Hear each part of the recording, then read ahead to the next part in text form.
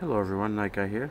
Gonna do another quick unboxing on a new piece that I got in from Nautical Handicraft.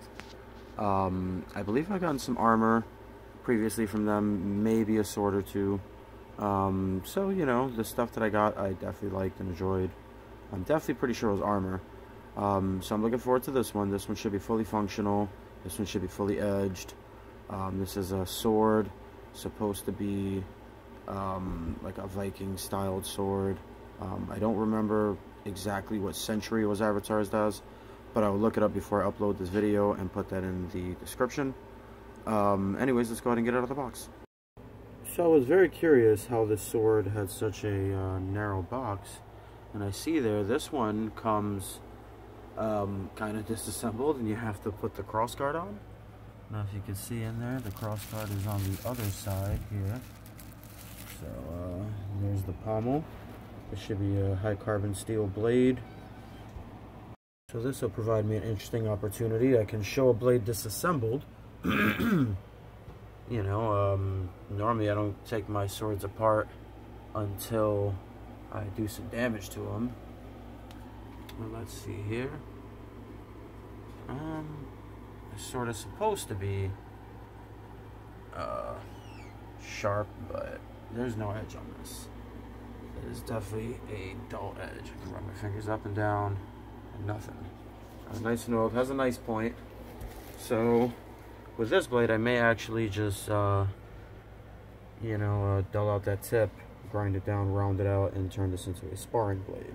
This thing is very light, coming in at about three pounds, a little bit under three pounds, honestly. But I haven't put the, the cross guard on. Here's the cross guard. Nice uh, forward swept cross guard.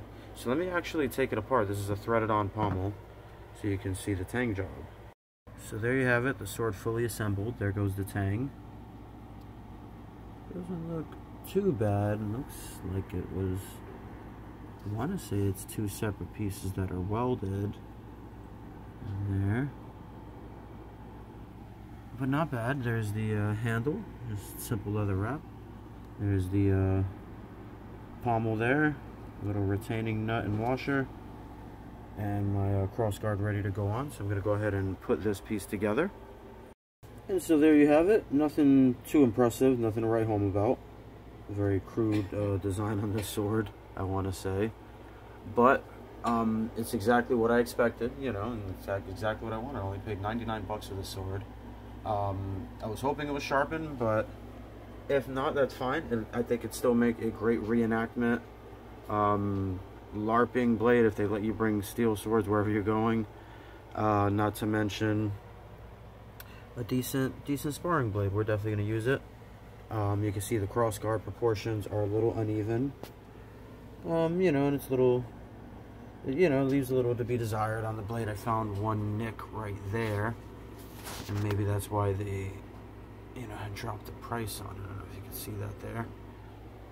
Anyhow, like I said, I can't complain. Um, I uh, like having some cruder swords, especially if you're doing like a reenactment. You know, not everyone on the field would have a very expensive piece, especially not on a battlefield. I don't think people would bring their expensive pieces. So I think this, in some ways, would be a little more accurate for that scenario.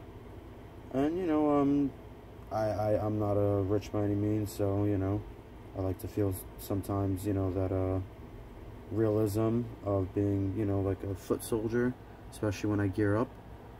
And, you know, I think a common foot soldier would probably have a more crude uh, sword. Probably something exactly like this. I don't know, what do you think?